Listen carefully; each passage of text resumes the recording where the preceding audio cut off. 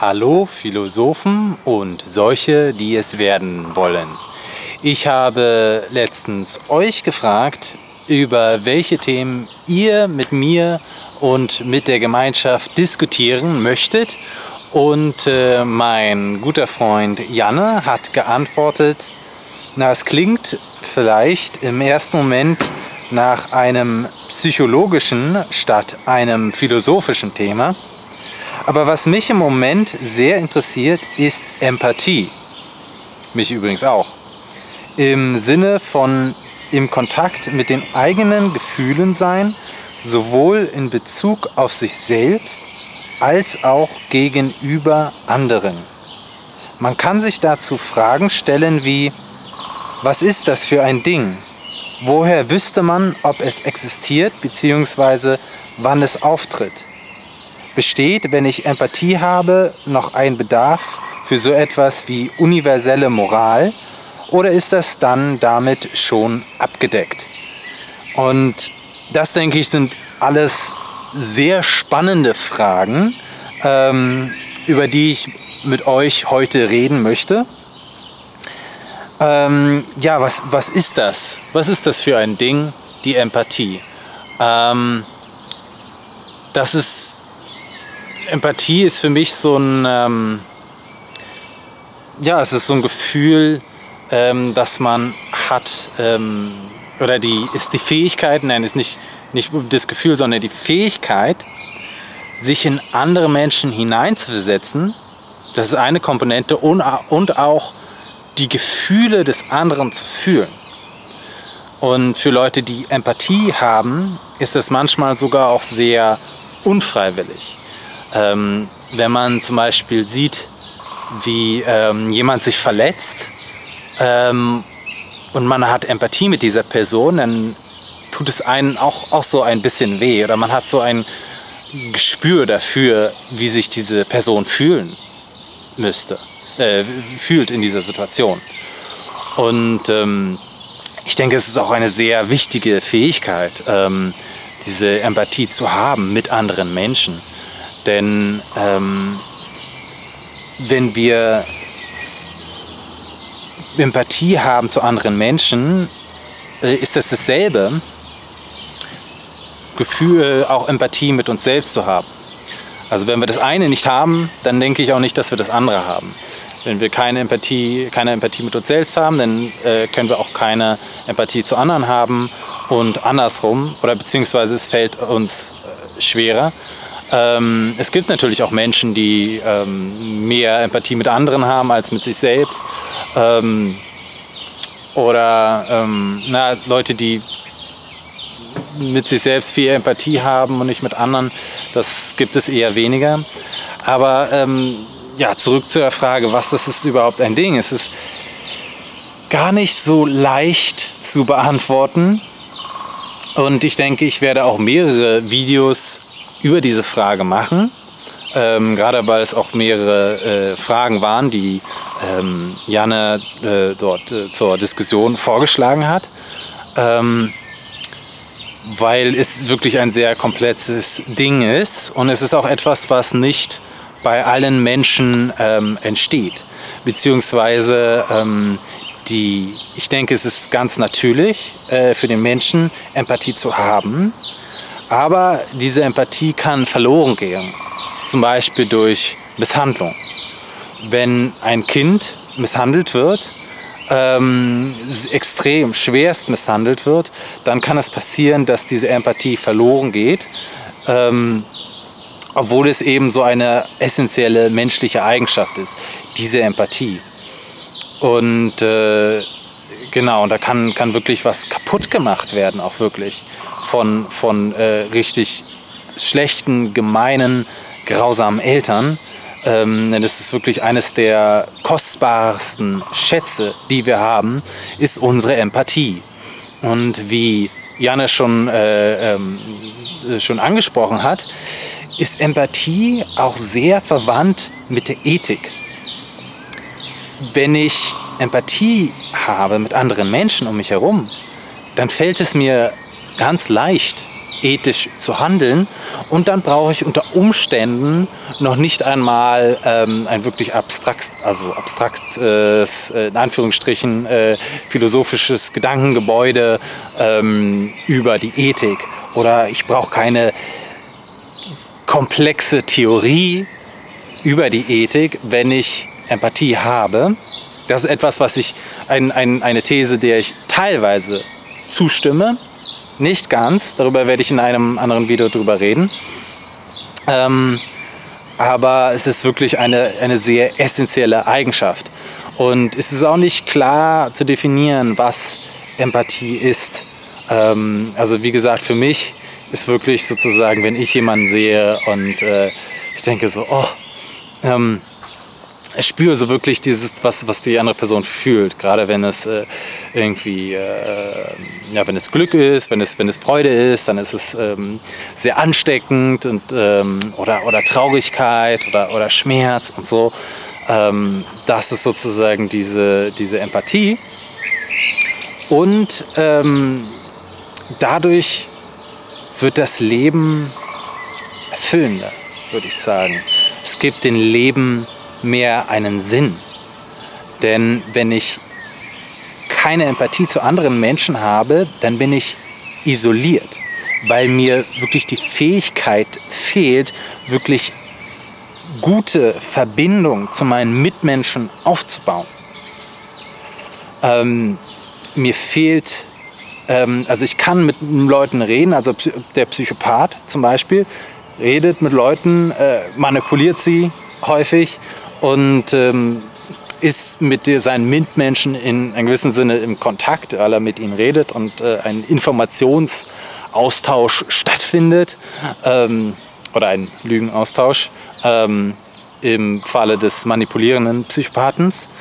Aber ähm, also wirklich eine emotionale Verbindung kann nicht aufgebaut werden, wenn man wirklich diese essentielle Fähigkeit nicht hat. Ähm, man kann sie, wie gesagt, verlieren.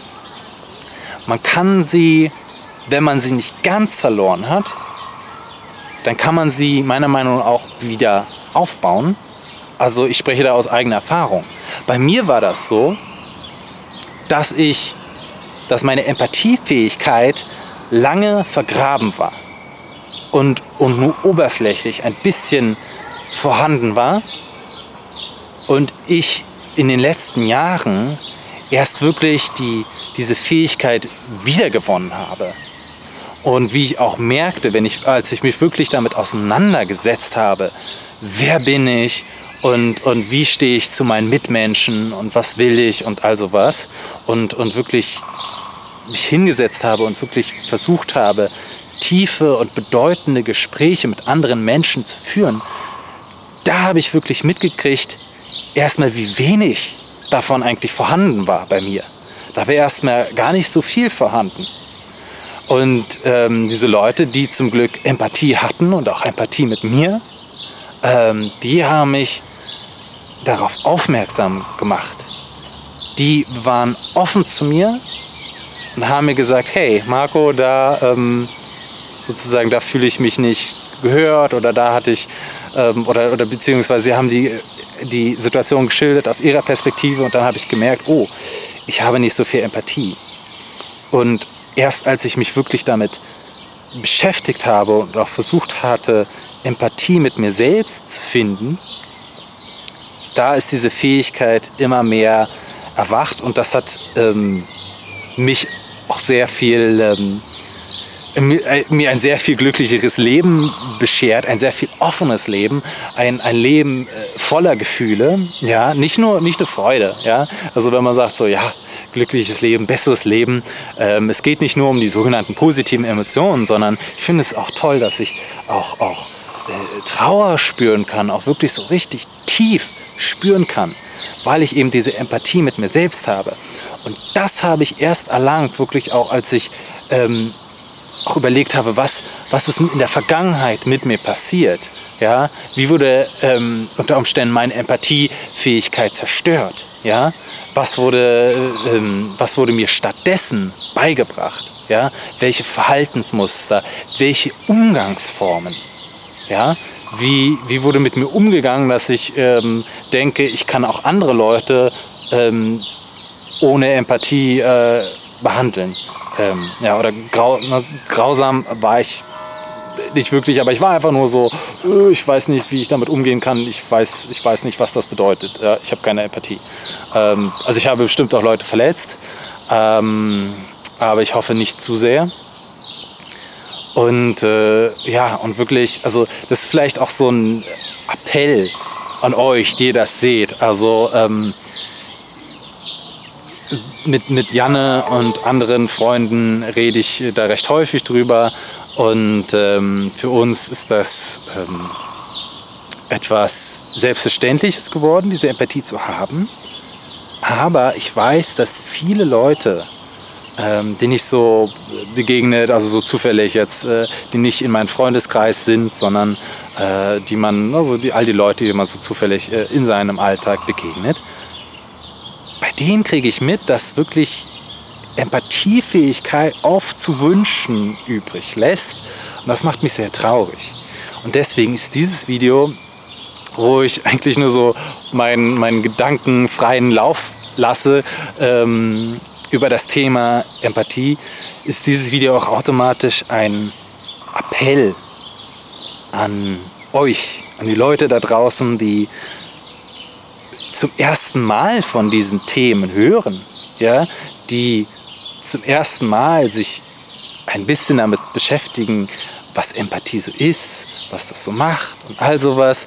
Ähm, für die, ähm, denen möchte ich sagen, hey, wenn du dazugehörst, wenn du ähm, nicht sicher bist, wie viel Empathie du hast und, äh, und äh, wie viel äh, Empathie du für dich selbst hast und für andere, ähm, das ist etwas, was echt faszinierend ist, wo, wo sich echt lohnt, sich damit äh, auseinanderzusetzen. Und eine Sache, wie man das machen kann, ist zum Beispiel, sich damit zu beschäftigen, was ähm, einmal, wie fühle ich mich? Ja, wenn du dich häufig fragst, wie fühle ich mich, ja, ähm, das kannst du machen. Also wenn, wenn ich meine, ähm, wenn es anders nicht geht, stell dir ruhig einen Wecker. Ja? Ähm, zu bestimmten Zeiten, dreimal am Tag oder so, ähm, für, mit deinem Smartphone, wo nur drauf steht, wie fühle ich mich. Ja? Das kann schon sehr viel helfen. Ähm, idealerweise ähm, hat man Freunde, die einen das oft fragen. Hey, wie geht's dir? Wie fühlst du dich? Nicht nur einfach so, hey, wie geht's? Gut. Sondern so wirklich Freunde, die sagen, hey, sag mal, wie, wie, wie geht's dir? Wie fühlst du dich gerade? Was geht in dir vor? Ähm, das ist wirklich, denke ich mal, das Ideal. Und so ähm, ich meine, mit solchen Freunden äh, hat man, also äh, kann man gar nicht anders, als ganz viel Empathie zu haben für sich selbst und für andere, ähm, weil man es dann gewohnt ist, von seinen Freunden halt oft gefragt zu werden, wie man sich fühlt. Aber auf diesem Level sind noch nicht so viele Leute und ähm, das, äh, das ist etwas, was äh, genau, was meiner Meinung nach, es wäre besser, wenn man ähm, sich darum kümmert, denn es ist wirklich so, so essentiell und es ist einfach ein, also ich kann es gar nicht beschreiben, ähm, wie anders das Leben ist, wie, wie viel wacher ich jetzt bin, ja, e, eben durch, durch diese Empathie. Ähm, also ich bin total der Fanboy, was äh, Empathie betrifft. Empathie ist total super. Ähm, in anderen Videos, in späteren Videos werde ich vielleicht auch noch ein bisschen Kritik üben an der Empathie oder wo, nee, nicht wirklich Kritik, also, aber wo ähm, eventuell die Grenzen der Empathie sind. Und äh, ja, und ich denke, dass das Video war erstmal lang genug. Und ich bin gespannt, was ihr ähm, so über diese Gedanken denkt. Besonders wenn ihr ähm, euch mit dem Thema noch nicht so viel auseinandergesetzt ähm, habt. Äh, okay, wir sehen uns morgen. Tschüss.